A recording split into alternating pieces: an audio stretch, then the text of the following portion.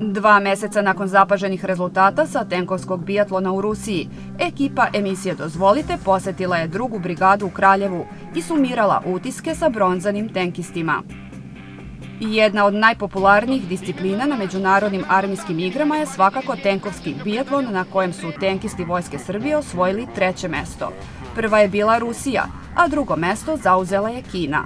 Na igrama je učestvovalo 17 zemalja, a u trci tenkova bilo je 13 učesnika.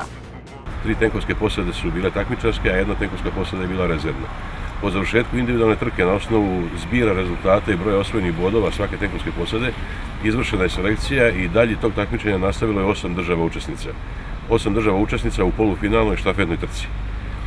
E, štafetna trka se izvodila na poligonu koji je kružnog oblika, dužine 4 km i svaka tenkovska posada imala zadatak da realizacijom pokreta na toj stazi savlada 27 tenkovskih prepreka, da realizuje vatru iz kolektivnog naoružanja, neutrališe ciljeve i da u što kraćem vremenskom periodu završi, završi svoje učešće. I realizacijom finalne trke do pred sam, e, naše posade su sve prepreke uspešno savladale, uspeh vatre je bio na zahtevanom nivou i do pred sam kraj, praktično do zadnjeg kruga treće tenkovske posade, naša ekipa je zauzimala ubedljivo drugo mesto odmah iza tima Rusije. Imali smo taj peh da nam se u zadnjem krugu desio kvar na automatu za popunu topa.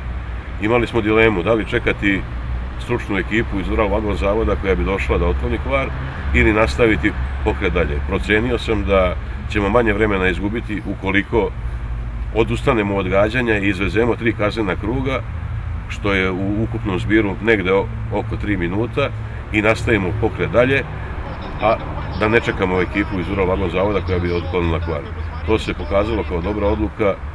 Pre svega, mi u jedinici radimo na tenkovima M84. Tokom priprema mi smo se pripremali na tenkovima T-72, koji su, koji su jako slični prošlogodišnjim tenkovima, to je T-72 B1, međutim ove godine u Ruskoj federaciji smo se takmičili na tenkovima T-72 B3, to su tenkovi, savrem, jako savremeni tenkovi, sa, sa novim sistemima, to je beloruska sprava Sosna, to je pored naše ekipe i ruske naravno kao domaćina, još i indijska ekipa je koristila tu spravu, ostale zemlje su bile u neverici zato što je to jedna nova sprava, komplikovana, nisu smeli da, da kažem na taj način da rizikuju da koriste tu spravu, međutim sposobnost naših pripadnika i stručno se pokazala kao jako dobra. Moj zadatak je bio da pogodim sve ciljeve. Imao sam cilj za PKT i za top.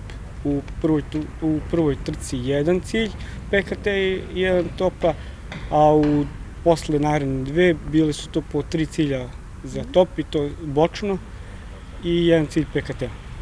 Iako se u našoj vojsci koristi tank M84, naši takmičari, kao i većina drugih učesnika, opredelili su se da koriste rusku tehniku, sem Kineza koji su vozili svoje tenkove. Tank M84 bio je jedan od ambicioznijih projekata u razvoju naoružanja tadašnje Jugoslavije. Iako je urađen po licenciji SSSR-a, ipak nije bio samo bleda kopija sovjetskog T-72M. Tank M84 razlikuje se od tanka T-72 za više od 60 Po svim bitnim parametrima vatrene moći, oklopne zaštite i pokretljivosti, taj tank je u to vreme bio ispred svih savremenih tenkova u svetu. To je potvrđeno na osnovu uporednih ispitivanja sa najsavremenijim tenkovima u Kuvajtu i Pakistanu i na osnovu činjenice da se posle ispitivanja Kuvajt odlučio za ovaj tenk. Na vozačima je bilo da na svim tim preprekama nailaze što većim brzinama i da to bude što bezbednije za vozače i za kompletnu posadu.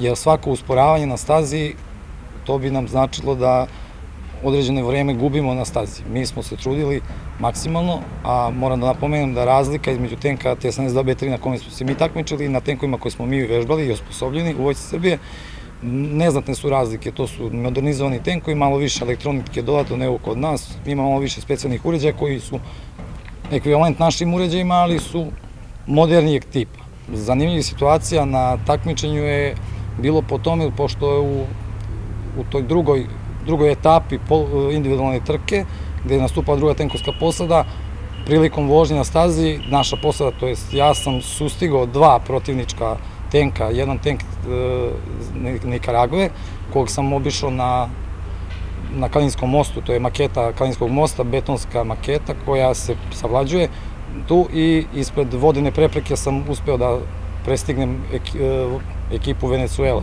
Tako da smo i tu ostali zapaženi da je komentator naglašavao taj moment, tako da je to jedna zanimljiva situacija.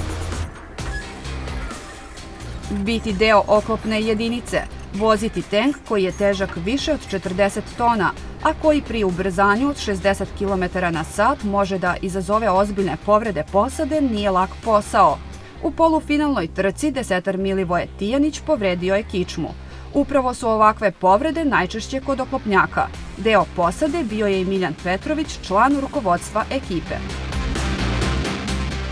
Bili smo jedna od najbolje obučenih i uvežbanih ekipa, bez obzira na vreme naše priprema, vreme uvežbavanja, sredstva koja su u to uložena, to su ipak neke mnogo jače e, zemlje što se tiče ekonomije, jače vojske, oni su, pokušavali smo od njih da saznamo neke detalje iz njihove obuke,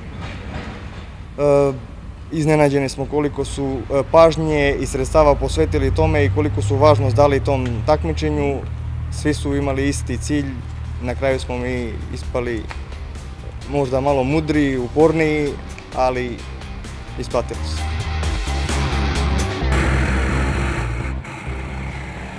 Srbija je učestvovala samo u ovom takmičenju, ali moguće je da bi sledeće godine Vojska Srbije mogla da izmeri snage i u drugim disciplinama.